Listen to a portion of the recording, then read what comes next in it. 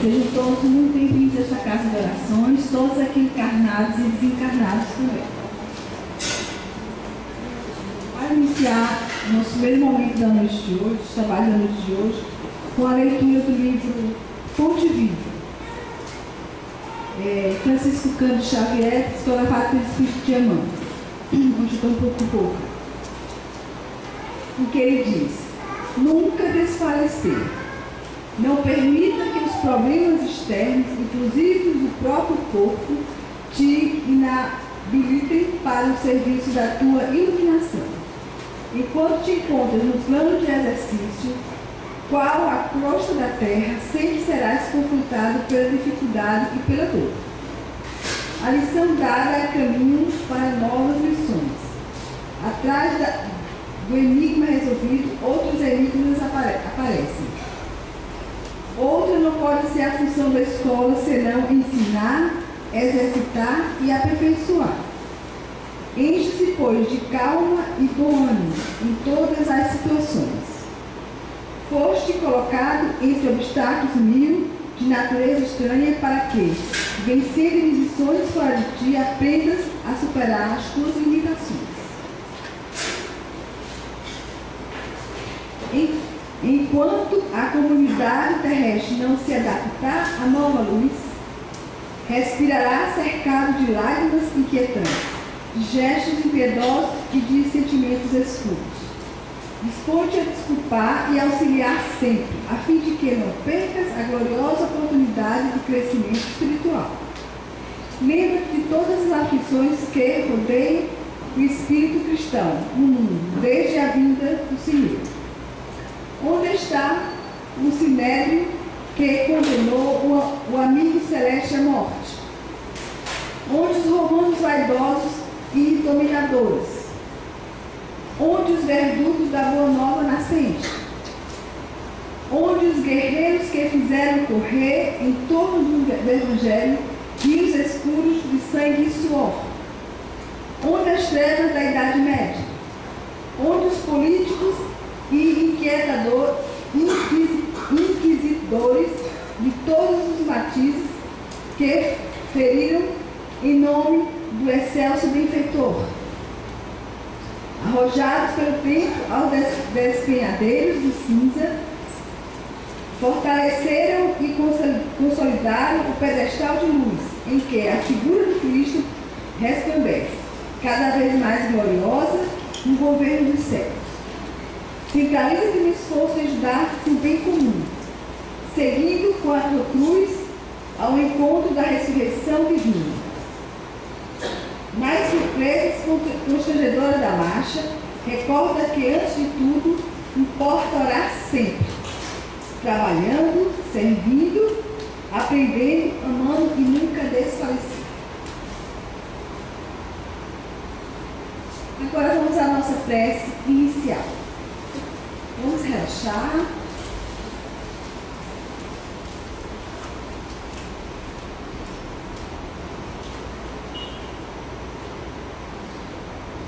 thank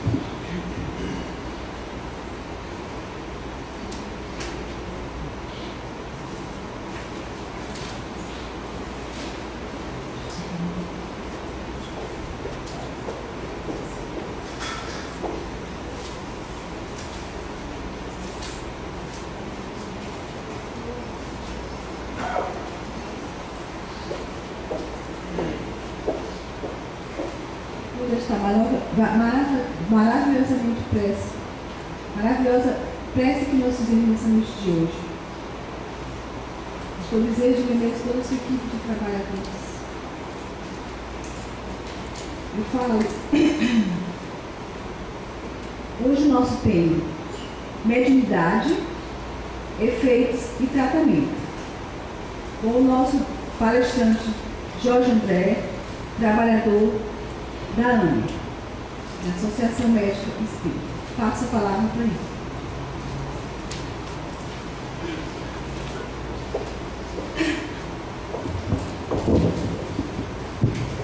Boa noite, pessoal. Hoje nos foi colocado esse tema que a gente já está passando lá na ANO e outras casas espíritas até o final do primeiro quadrimestre. Em abril estaremos divulgando esse tema e aprofundando o mesmo a cada palestra, a cada centro que já estiver visto a primeira da série de três.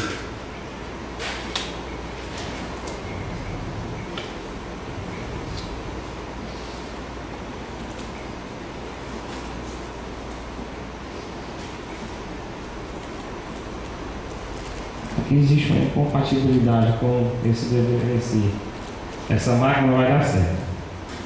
O Espiritismo é a nova ciência que vem mostrar para a gente a vida após a morte.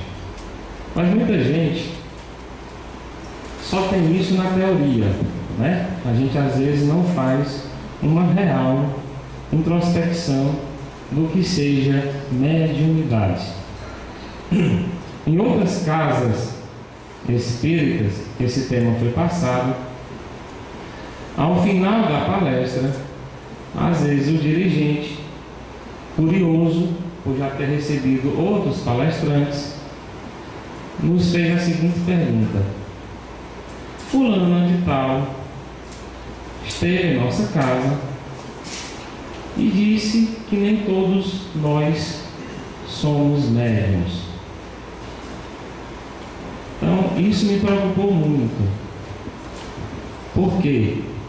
Porque a, a questão da mediunidade ela é bastante desenvolvida na questão da educação do ESG, onde se espera que as casas espíritas estejam fazendo o estudo sistematizado da doutrina para os, as crianças, os jovens e depois os adultos.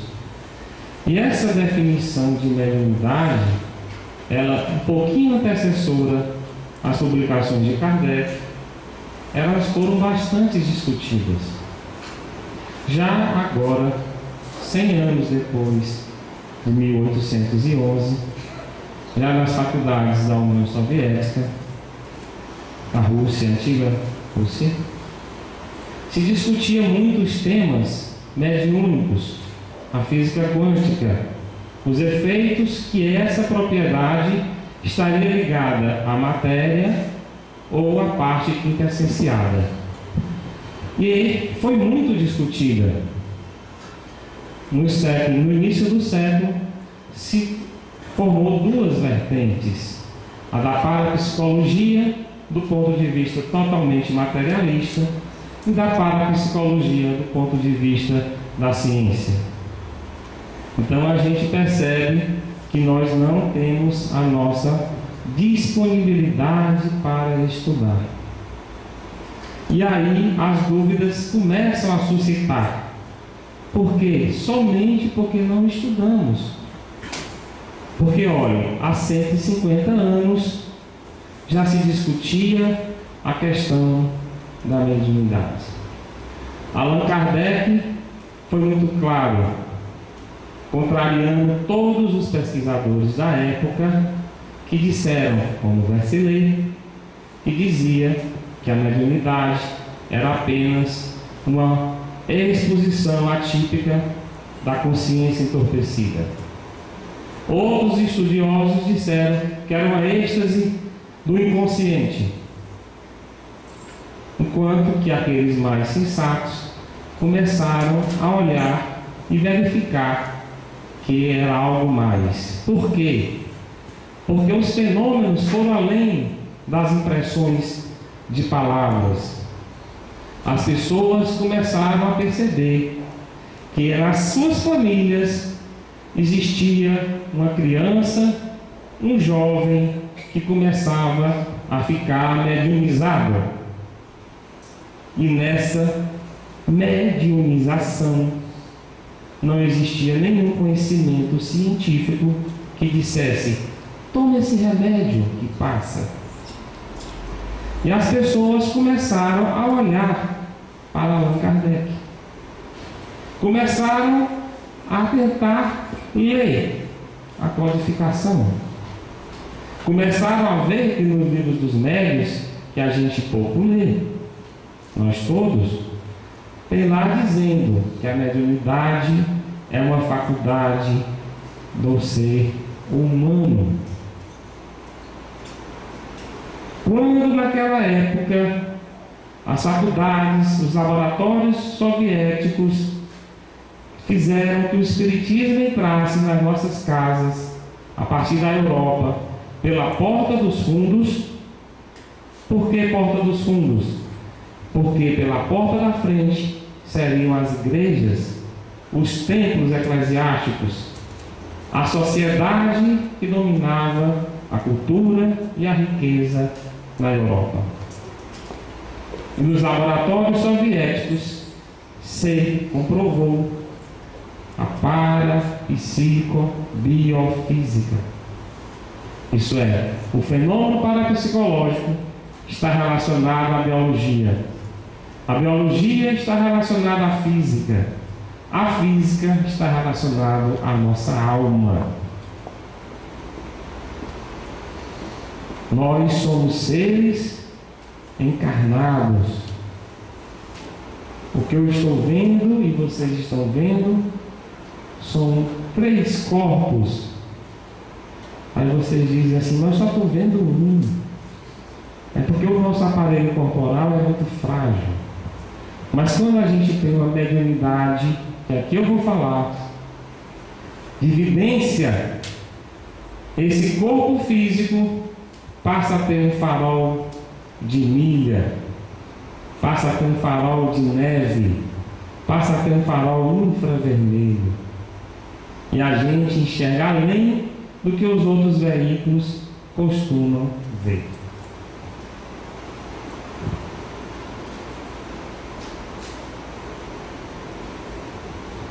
O primeiro passo para saber o que é mediunidade é a gente estudar.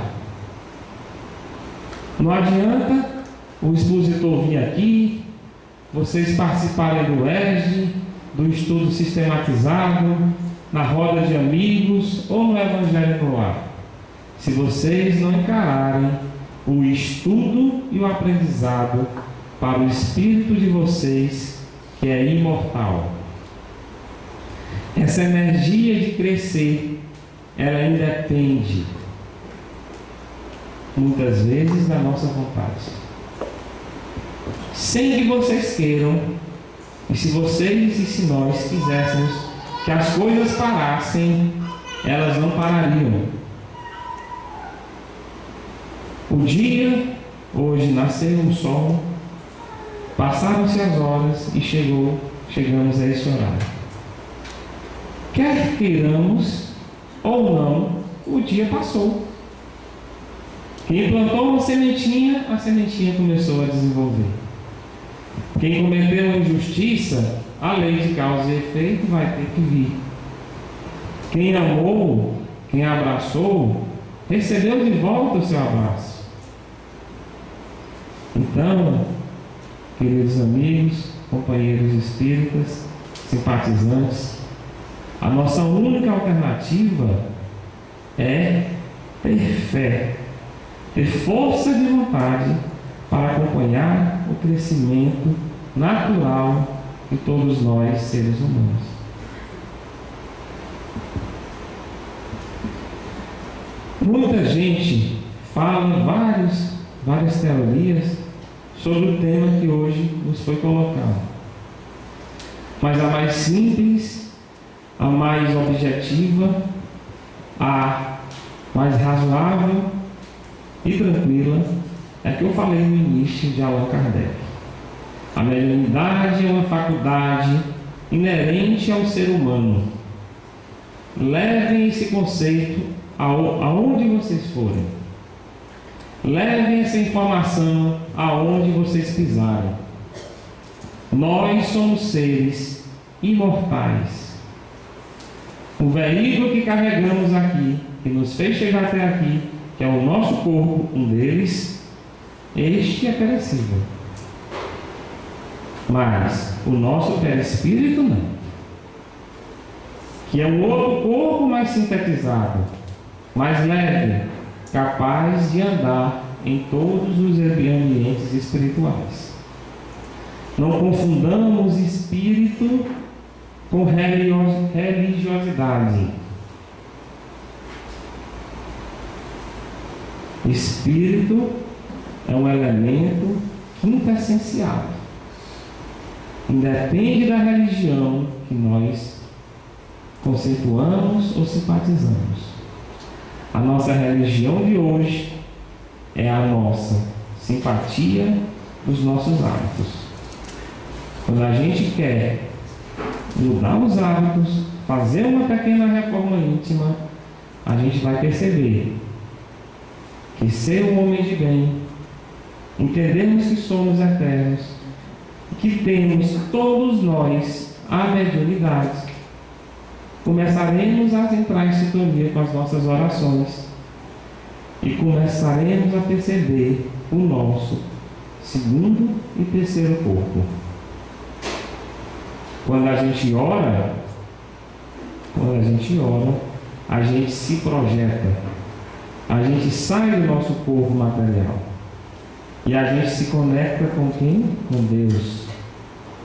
E começamos a exercer um relacionamento ímpar, substancioso, amoroso, fortificante. Quando nos afastamos de Deus, nas nossas orações, perdemos a energia da fé, diminuímos nossa mediunidade. E o que é que acontece?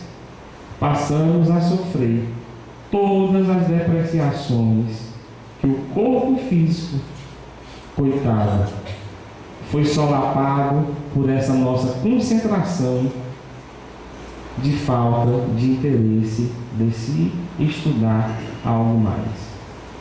Isso é, nós somos três, nós somos espírito, nós somos luz, nós queremos ser um, só corpo, só instintos, só matéria.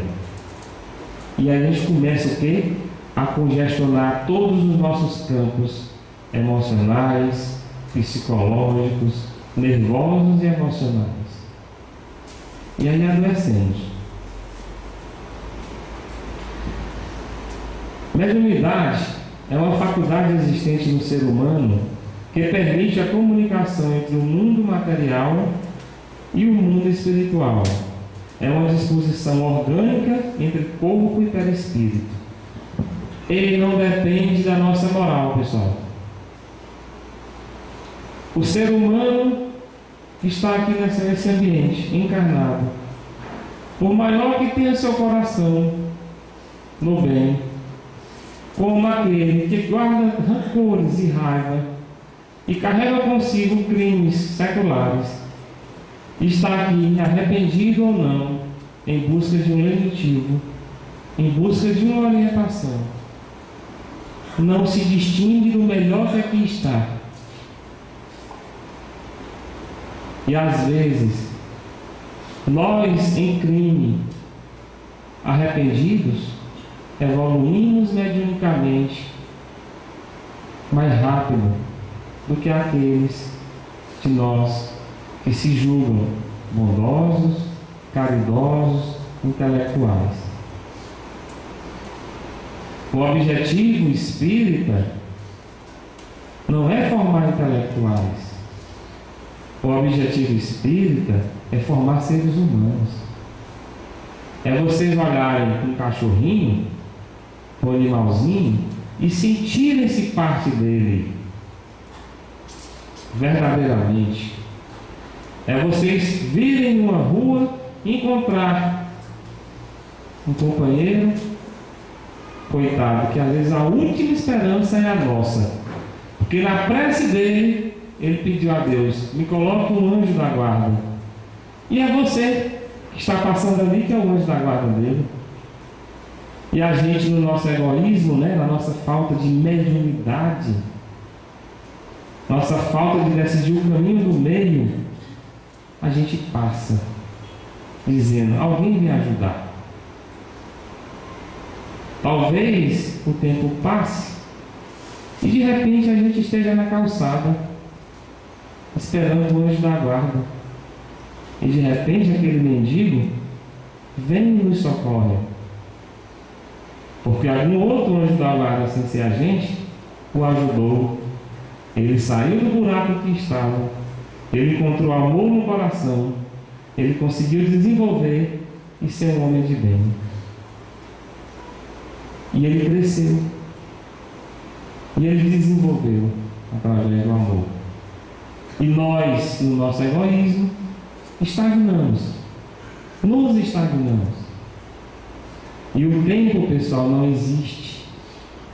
Quem é físico, matemático, eu adoro matemática, atuo na área da, na área da ciência exata,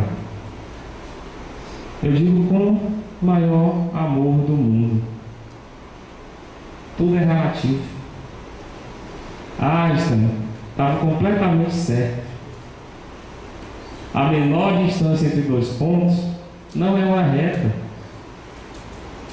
A menor distância entre dois pontos é uma curva. E no Espiritismo eu descobri que essa curva, ela é assim. É um sorriso. Olha a física quântica. Olha a teoria da relatividade ligada ao nosso coração. O caminho mais curto, pessoal, entre dois pontos é um sorriso é o amor que a gente possa dar a qualquer um de nós. É a capacidade que possamos ter de sermos médios. Porque o melhor caminho será sempre o caminho do meio. Quem procura atalho para chegar mais rápido pode encontrar muitas armadilhas. E quem vai pelo caminho mais longo também vai cansar. O segundo passo, porque o tema é sobre mediunidade. Como é que a gente vai identificar essa capacidade comunicativa natural do ser humano e que ninguém, eu peço do fundo do coração, que ninguém saia daqui hoje com a dúvida sobre mediunidade. Aonde vocês estiverem, vocês vão ter a certeza de que a mediunidade é uma capacidade natural do ser humano. Como atribuímos a capacidade eletromagnética e uma mensagem de celular e não entendemos que essa mesma capacidade nós possamos ter, que somos criadores desse aparelho pequenininho.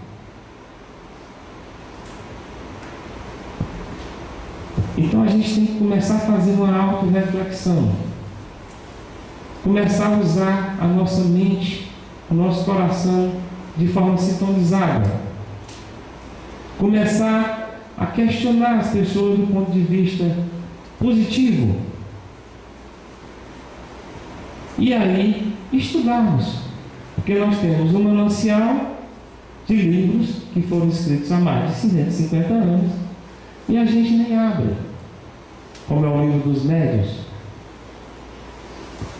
Uma coisa eu posso dizer para vocês, através desses estudos, da participação lá na ANA, da minha vontade de estudar enquanto espírita. Vocês estão vendo essa cachoeirazinha aí?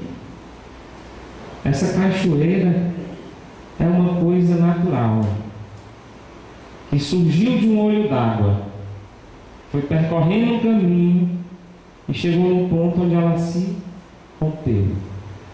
Ela jorrou, ela eclodiu, ela formou uma potência de várias águas. Assim é a nossa mediunidade. Assim deve ser o nosso coração ligados à nossa emoção e ligados à nossa razão. A mediunidade não é patrimônio de ninguém. O médio não é patrimônio do centro. O médio é uma pessoa respeitável como qualquer outra. Com todo respeito ao estado da mediunidade avançada, ofensiva, como chamam alguns colegas, a mediunidade deve ser respeitada. Pelo próprio médium, ele não é ninguém especial. Pelo contrário, foi a providência divina, foi o amor de Deus que disse: Meu querido filho, tu cometeste tanta injustiça em todas as tuas vidas que uma próxima reencarnação não te bastará. Tu terás que vir com um super veículo, um corpo super poderoso, um ouvido capaz de escutar em outras dimensões, com um olho tão apurado, capaz de tu enxergar várias dimensões. Os seres, quando perder o corpo, tu vais enxergar porque este tu fizeste muito mal. Querido filho, tu escutaste tanto as más conversas, que eu vou te dar um ouvido para escutar as boas conversas agora. As lamentações de quem está sofrendo. As dores de quem não conseguiu reencarnar, porque tu roubaste a grande criatura da família, que era a esposa do fulano e o cidadão, no desespero, comete suicídio. E fica lá preso na dimensão do passado e Deus nos dá as próximas vidas. E um belo dia a gente não consegue mais se livrar da lei de causa e efeito. E a gente precisa vir médium. E a gente de pequenininho já vem médium. Aquela criança que, não, que já vê todos os seus parentes desencarnados. Que o avô chega e ela sorri e diz: Mamãe é o vovô. E nós, na nossa ignorância, no nosso materialismo, na nossa ociosidade de nunca abrir um livro, nem de física, nem de matemática, nem de português, nem de bons hábitos, para entender que aquela criança não conheceu o avô. Como é que ela pode dizer, mamãe é o vovô? O vovô Pedro, por exemplo. Se ela não era nem nascida. E a gente materialista vai para os caminhos da materialidade. E diz: Quem foi que conversou com minha filha sobre meu pai? despreza o campo de sensibilidade da criança que já vem com a mediunidade. E pasmem, nós somos espíritas. A criança pediu pelo amor de Deus que reencarnasse numa família amorosa e espírita. Porque desde o comecinho da sua idade, ela tem todo apoio, todo amor e compreensão de um pai e de uma mãe espírita. Às vezes é tão difícil encontrar um lar amoroso, espirituoso, que rompe as barreiras desse materialismo, que o espírito acha às vezes um bisavô, uma avó, porque toda a família não tem religião nenhuma. E a pressa de recuperar os danos do passado é tão grande que ela já nasce criancinha mediúnica.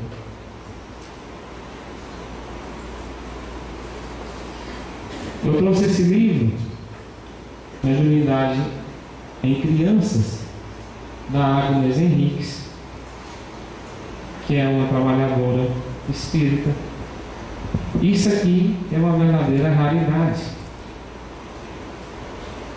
Quantos pais, espíritas ou não espíritas, de todas as religiões, procuram compreender os fenômenos mediúnicos em suas crianças?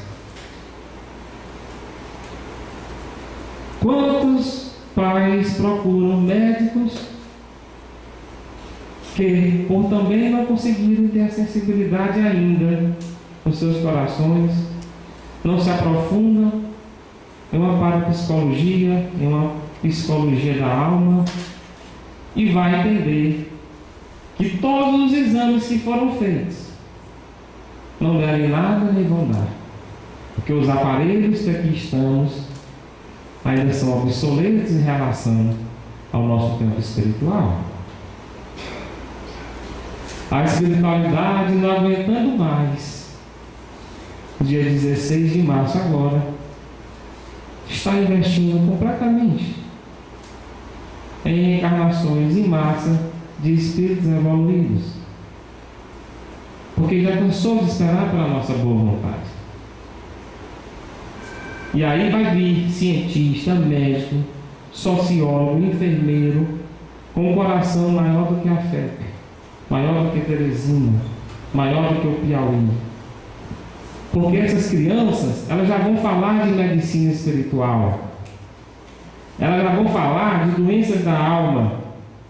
Elas não vão esperar por nenhuma instituição médica, ou colegas médicos, enfermeiros, sociólogos, psicólogos, fisioterapeutas, entenderem que nós estamos com contusões da alma. Entenderem que o nosso CA, às vezes, é de egoísmo milenar porque a gente se sabota a todo segundo. Porque a gente se nega a amar a nossa família. A gente se nega a amar a gente mesmo. E a gente vive se sabotando.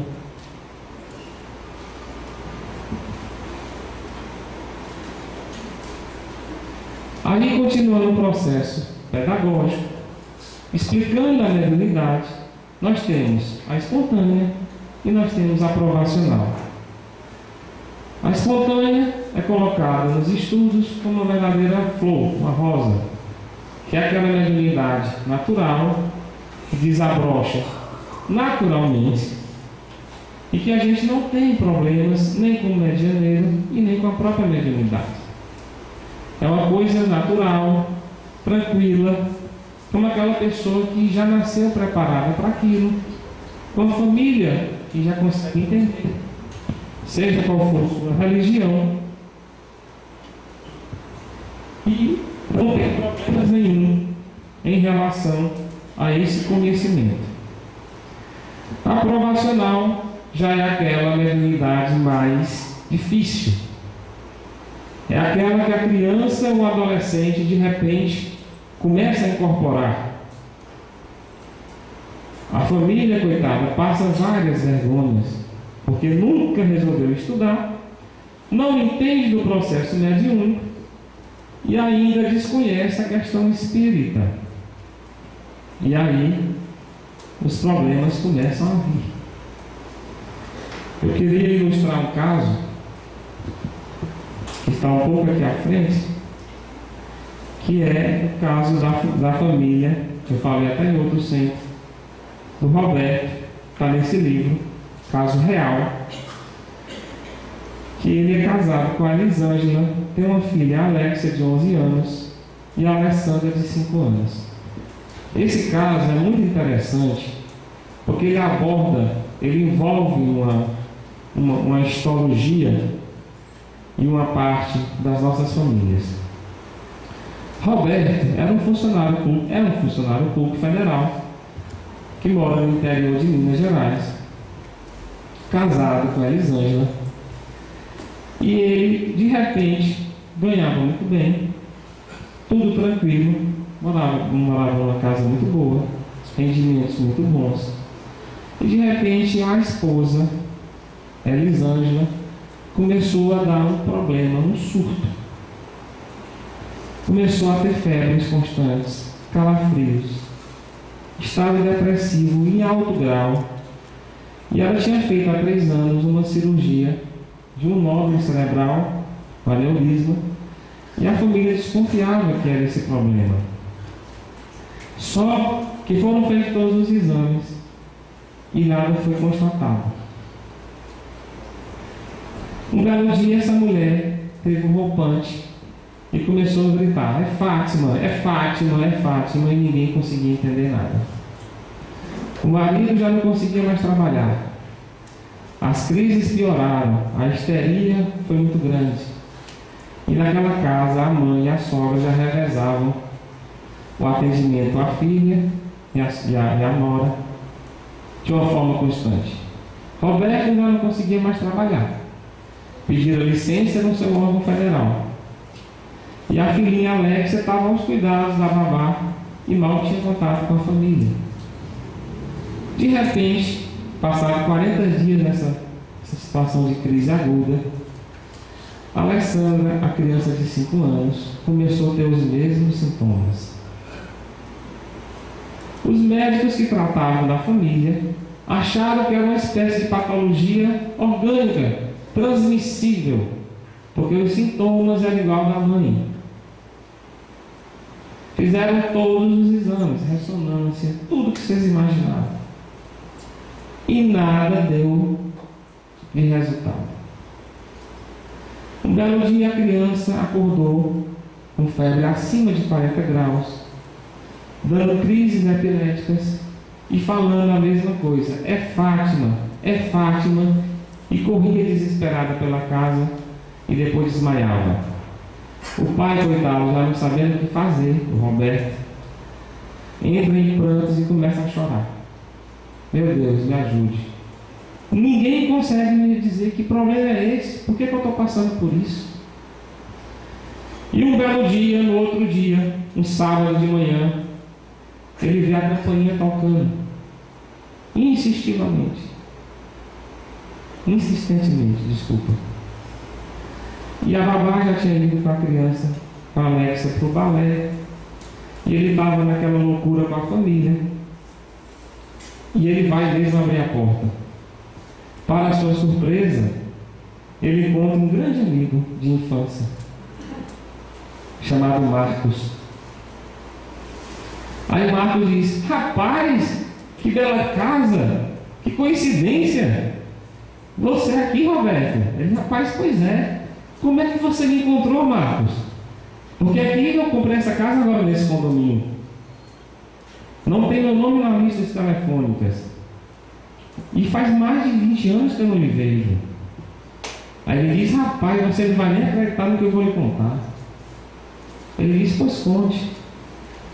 Sim, mas antes, como é que está a sua família? O Roberto perguntando para Marcos, querendo tirar um pouco da atenção do amigo do problema familiar que vinha passando.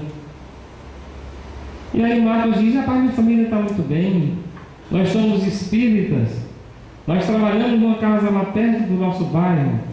Nossas filhas estão bem, eu tenho duas filhas. Minha esposa também trabalha, de vez em quando vai fazer um ato voluntário. Estamos estudando, temos o Evangelho no lar. E você, meu amigo Roberto, como é que você está? Aí Roberto não tem mais para onde fugir. Baixa a cabeça e diz, ô oh, meu amigo, eu estou muito mal. Eu estou passando por uma situação difícil. Mas me diga, você estava falando que achou minha casa e como é que foi essa coincidência? Ele diz, rapaz, agora eu vou dizer para você, que eu já falei que eu sou espírita, né? Fazendo tempo que não se viu. Ontem na reunião, o nosso benfeitor espiritual disse, amanhã de manhã você vai ajudar um grande amigo seu. E eu perguntei, como é o nome? Ele disse, não, não vou lhe dizer. E onde é que mora? Aí ele disse, você vai descobrir. Nós vamos intuir e você vai ajudar essa pessoa. E você não vai acreditar, Roberto. Eu acordei, antes disso fiz minha prece, fui para o terminal de ônibus e peguei o primeiro ônibus, que nunca tinha pego.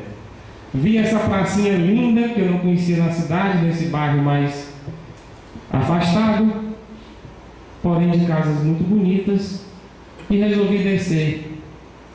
E disse: Vou tocar aquela campainha. Se a pessoa me tratar mal, eu vou pedir um copo d'água. E para minha surpresa, era você. E você não vai acreditar. O nosso mentor disse: essa pessoa e sua família e sua esposa estão precisando de muita ajuda. E aí o nosso amigo Roberto não aguentou mais e começou a chorar. Entrou em prantos e foi explicar toda a situação que estava vivendo desde as últimas dos primeiros sintomas. O amigo Marcos, espírita, trabalhador, falou assim para ele: É, realmente, nós temos como, como ajudá-lo. E entrou em prece na sala e automaticamente a mãe, a esposa de Roberto, já veio de lá, incorporada, dizendo: O que fazes aqui? O que você quer com essas mulheres? Elas são minhas. Você não tem o direito de interferir nesta família. E Marcos pediu a todos que fizessem uma corrente de orações. E ele começou a fazer um tratamento doutrinário, improvisado, com a ajuda de todos, a mãe, a sogra, o amigo. E naquela mentalização e energia de amor, o Espírito se manifestou. Era Fátima, a melhor amiga de Elisângela, que há três anos sofrera um acidente de carro, porque Roberto, marido de Elisângela, não queria deixar que elas duas viajassem para uma cidade perto sem a presença dele. Ela saiu irritada de casa, pegou o carro, passou no sinal vermelho e foi atropelada pelo ônibus. E ela queria vingança. Usando a faculdade mediúnica da criança, usando a faculdade mediúnica da mãe, até então nunca desenvolvida, começou-se um processo há três anos atrás, imperceptível. Isso é, a família, o marido, a mulher não tinham um apoio, não faziam o evangelho no lar. A criança, na sua regressão, falando com o amigo, disse: há um ano ela já via a presença da Fátima nos cantos da casa. E ela chorava depois o Espírito fez a aproximação, até acoplar, a acoplagem através da mediunidade, que ela se apresenta nesses aspectos todos, nos efeitos físicos, os efeitos intelectuais. A mediunidade ela pode ser sonora, luminosa, de transporte, de levitação, de materialização. Então, olha o tanto de possibilidade mediúnica. Pode ser de transfiguração, de voz direta, de escrita direta e de cura. Quando você tem boa energia magnética e de cura, você às vezes por telefone, como hoje foi falado na palestra lá na, no HGV, você consegue deixar uma pessoa muito melhor. Para quem dá uma estudadinha nas leis da física e nas leis da, da física quântica, vai perceber que existe uma força chamada eletromagnetismo. A força elétrica é o que vocês estão tendo a sensação. A luz acionada pela energia elétrica, o ar-condicionado, o data show. E a força eletromagnética, a energia que cada um de nós está passando um para o outro. Essa não tem barreira. Você não vai conseguir segurar uma força eletromagnética. Porque ela usa a força elétrica para e ultrapassa-se as barreiras com a magnética. Olha aí um efeito físico de uma mediunidade sem estudo, sem evangelho no lar, sem tratamento. Aqui no canto direito que vocês estão vendo, seria uma ectoplasmia, o famoso peixotinho, em presença aí do, Dival, do, do, do nosso Chico Xavier. Esse ator, que foi, a gente falou também na, na, no treinamento lá da AME, no seminário é, sobre desobsessão, é, muitos filmes que ele fez, ele recomendava aos atores que iam fazer o papel com ele que tivessem cuidado, porque as energias eram muito fortes. Ele teve sérios problemas na vida pessoal. Aí o processo de liberação, vou passar aqui rapidamente. A questão do, do Peixotinho também, os livros do Peixotinho. A mediunidade intuitiva, que as mães têm demais, né? Elas se conectam aos seus filhos, aos seus familiares, elas intuem.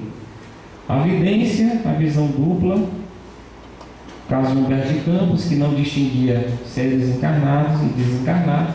Já pensou, você vem passando, eu estou vendo aqui como o nome do senhor. Eu vejo o seu Augusto, né? E falo com ele, tudo bem. Daqui a pouco eu ver uma pessoa parecida com ele, amigo meu, e acho que está encarnado. E falo. Só que o fulano está desencarnado. Né? A sociedade chama de doido, né? Os nossos parentes e amigos que têm problemas de esquizofrenia ou loucura são médios, pessoal. Precisa de amor e carinho. E tratamento. Psicofonia, a psicografia, que a psicografia ela pode ser a escrita tocando ou não no lápis, e pode ser sem tocar no lápis.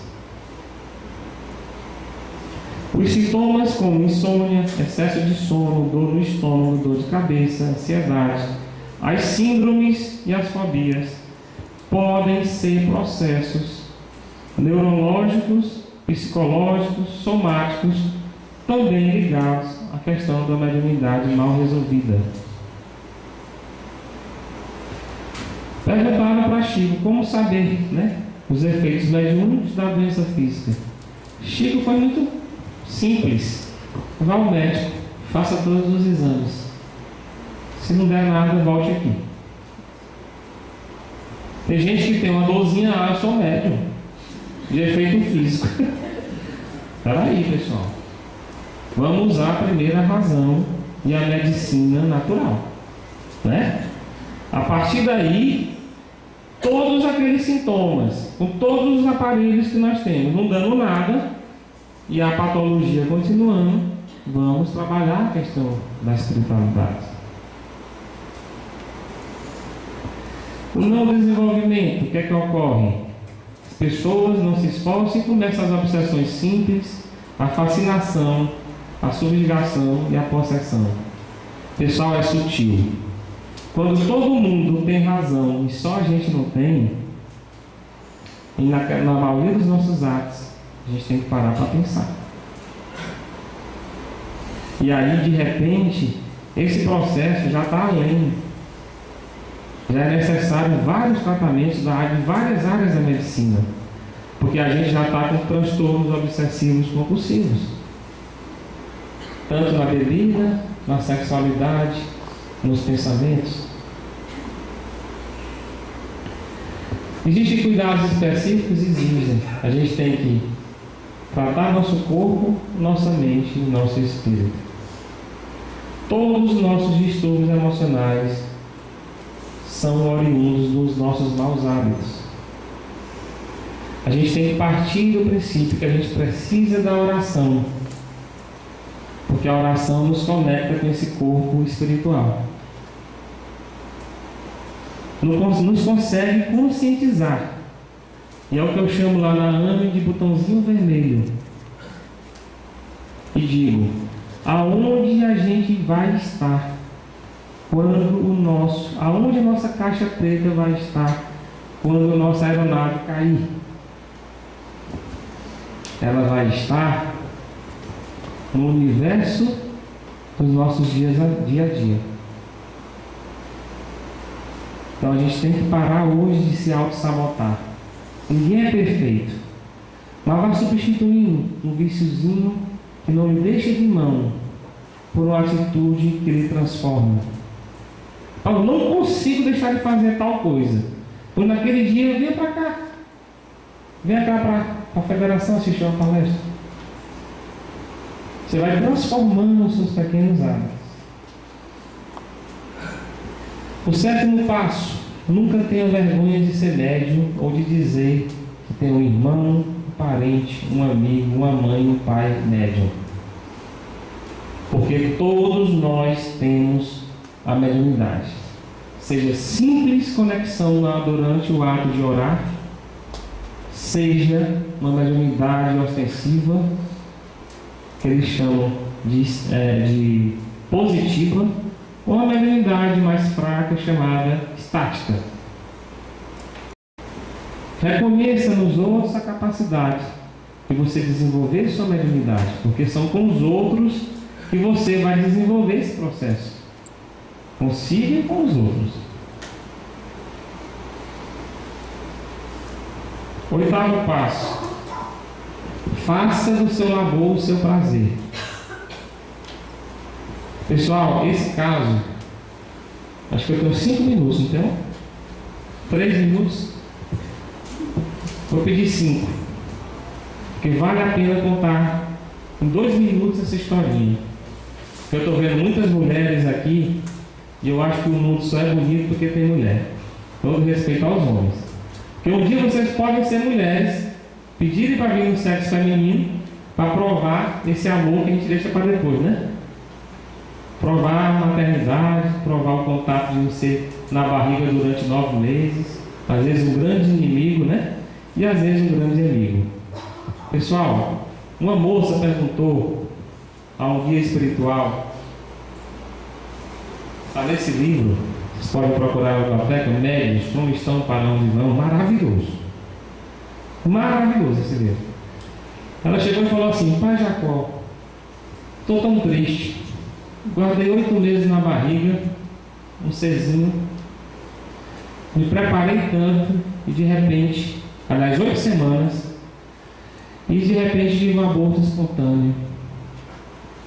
Deus é muito injusto comigo. O que eu fiz para provar? Queria tanto ser mãe. Aí ele diz, ô oh, minha querida filha, vou te contar uma história. Às vezes, a gente pensa que a vida Perdendo um ser, a gente perdeu uma vida. Mas essa história é tão maravilhosa que eu vou contar para você. Esse ser que você perdeu, meu querido, era um ser que há milhares de anos estava no umbral, totalmente transfigurado, os olhos arrancados, cheios de sangue, a cabeça mais de um metro, que usara totalmente a favor do mal. O corpo não passava de um metro e vinte. Nossa querida Bernarda, instrutora espiritual, procurou longamente por uma mãe caridosa e achou você. Olha, esse espírito já não teria mais condições de evoluir. Ele ia passar pela ovotização. Ele ia virar um ovoide, porque estava o seu perispírito atrofiado na última instância. E seu coração majestoso absorveu essa criatura, que a sua única alternativa era a UTI do corpo. Olha só, os espíritos usam o corpo como UTI para a evolução moral. E essa criatura que passou com você oito semanas conseguiu, ao desencarnar no seu aborto espontâneo, conseguiu ser encaminhado ao hospital espiritual e não vai mais virar o void. Não vai ser elemento de milhares de reencarnações estagnadas. Ele vai começar a se reconstituir como ser humano. E ele, minha querida, nunca vai deixar de lhe agradecer. Você vai ser a eterna mãezinha dele. Por vários e vários séculos. Você não perdeu um filho. Você ganhou um filho para o resto das suas vidas futuras. Ele vai ser eternamente grato a você. Então, às vezes, a gente, encunhado nesse mundo material, que a gente está aqui, a gente só vê as coisas imediatas. Às vezes, pessoal, uma coisa boa que a gente está achando que está tendo é muito ruim para a gente. E às vezes uma coisa ruim que a gente está achando, ela vai ser no futuro próximo uma coisa melhor da nossa vida. Então eu vou pedir para todo mundo transformar o seu labor em prazer, ser um homem de bem, é o caso do aborto que eu acabei de falar, termos fé diariamente, sem a fé a gente não aciona o mecanismo da vontade e não pode evoluir, vai evoluir muito pouco. E ter Jesus no nosso coração, porque esse grande mestre a gente deve ter orgulho de trabalhar para Ele. A gente deve ter força infinita para trabalhar para Ele. Porque é um grande prazer e uma grande honra trabalhar para Jesus. E Ele só quer o bem da gente, né? Ele só quer que a gente seja melhor. Eu vou pedir para vocês, eu não sei se ficou naquele outro computador, mas eu acho que eu botei aqui. Eu queria pedir para a gente repetir esses cinco, esses cinco parágrafos aqui, cinco linhas, para a gente energizar nossa, nossa fé, para a gente dar por encerrada a nossa exposição. Eu vou falar para vocês e eu vou pedir do coraçãozinho de vocês que vocês repitam. Foi inspirado no slogan dos caravaneiros do Homem de Bem, que trabalha, que é liderado por José de Paiva Neto.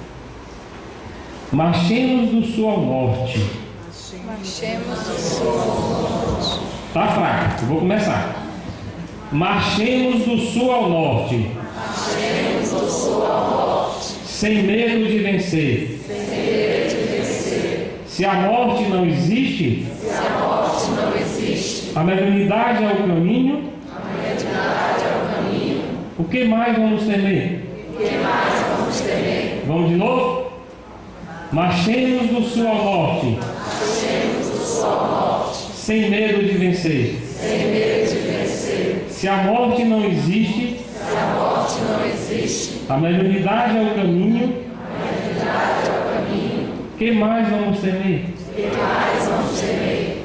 Um cheiro bem leve no coração de vocês. Fiquem com Deus.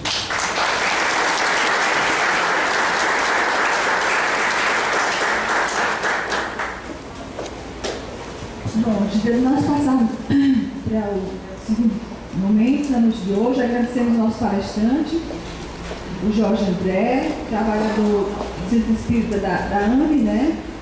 E que nos agraciou hoje com uma palestra muito bacana, falando sobre humanidades, efeitos e tratamentos.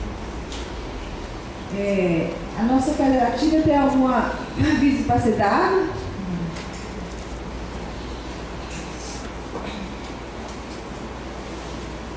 Boa noite, meus irmãos. Mais uma vez falar sobre a comunicação social dentro da federação. A federação está disponibilizando o Instagram, o endereço é arroba FEPiauí. O Facebook é só botar uma coisa, Federação Espírita Piauiense. E o YouTube, que nós estamos postando as palestras de domingo, tá? Para vocês terem acesso à palestra, é só clicar em pesquisar e botar ou a data da palestra que vocês querem assistir, ou o tema, ou o nome do palestrante. Eu também gostaria de divulgar duas atividades da FEP que estão precisando de pessoas para ajudar, para participar, que é o teatro e o coral.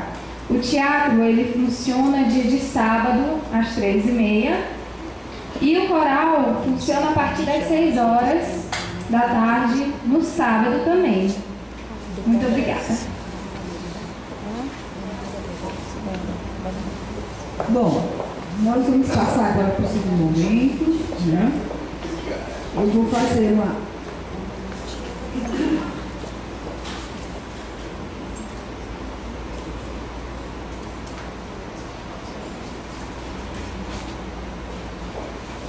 Obrigada, Guilherme. Então, continuando os nossos avisos, é relembrando ah, do nosso Congresso Espírita Piauiense, que ocorrerá do dia 29 a 31 de maio, com o tema Justiça Divina. Né? Os ingressos, as inscrições podem ser feitas na livraria. Ah, teremos um seminário chamado Espiritismo e Neurociência, ah, com a palestrante Anete Guimarães. Ocorrerá no dia 10 de abril, na sexta-feira, no auditório da Faculdade Santo Agostinho. E uh, no dia 11, no sábado, aqui na Federação, à tarde, às 15 horas. Das nossas atividades aqui na Federação, nós relembramos o ESD, né, o Instituto Sistematizado da Doutrina Espírita, às terças e sábados, a partir das 18h30, a evangelização voltada para o público infantil e a mocidade para a juventude nos domingos pela manhã. O atendimento fraterno ocorre às tardes, das 15 às 17h30, de segunda a sexta. As doutrinárias, quarta às 16, sexta às 18 e domingo, como aqui estamos, perdão, sexta às 19, domingo às 18, como aqui estamos. E hoje nós temos lá fora a venda do lanche. Ah, no dia de hoje está em prol da caravana de arte espírita, são artistas do movimento de arte espírita do Piauí que estamos tentando, eu me incluo, ir a Natal fretando micro-ônibus para pegarmos 18 horas de viagem. Então, quem puder nos ajudar, né, está ocorrendo a venda do lanche. Eu vou passar o Jorge André, se ele quiser reforçar o convite da jornada. Pessoal, para falar bem do, do, do horário, só relembrando os nossos voluntários, é Gilda, Josiane. Estamos ali.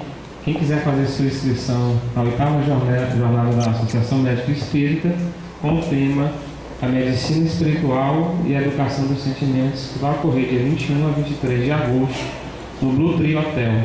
As vagas são limitadas e nós já estamos com a equipe. Quem quiser fazer sua inscrição, aproveitando a vinda aqui para a federação, estamos à disposição de vocês. Obrigado.